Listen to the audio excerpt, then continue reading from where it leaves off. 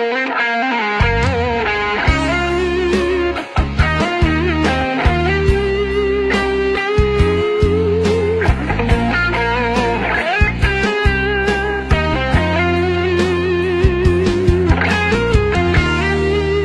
លខ្លះមិនអាចរាយរាប់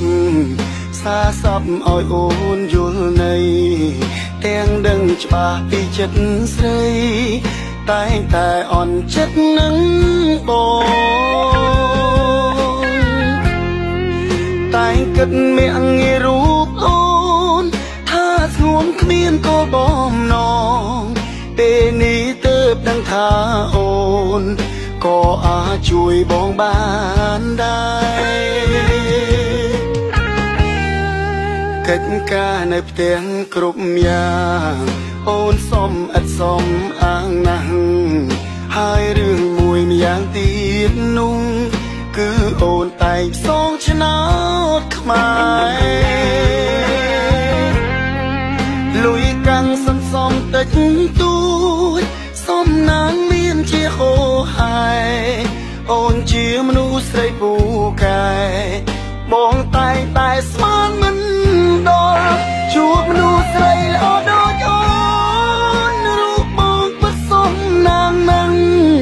ពេលឈានជើងចូលដល់ផ្ទះ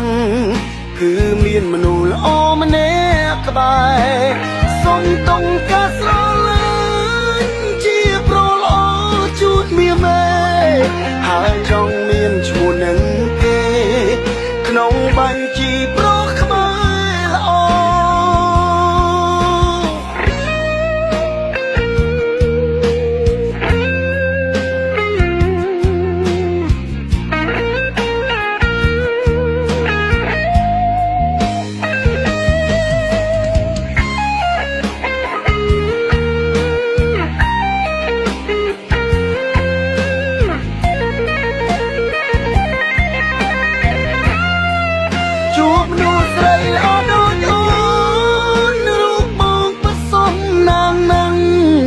ពេលឈានជើងចូលដល់ផ្ទះ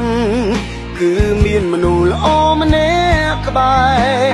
សុំតុងការស្រឡាញ់ជាប្រល្អជូតមៀមេហើយចង់មានឈ្មោះនឹងគេក្នុងបញ្ជីប្រខ្មែរល្អជួបមនុស្សស្រីល្អដូចអូនរូបបងពិតសំណាងនឹងពេលឈានជើង